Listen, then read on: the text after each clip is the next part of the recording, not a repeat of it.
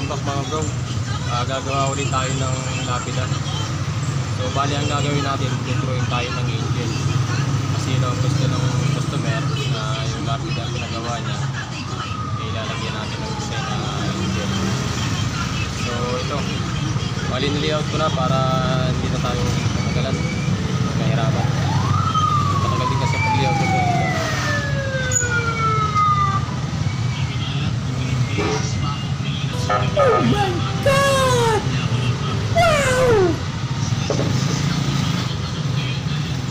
bro, umpisa na natin.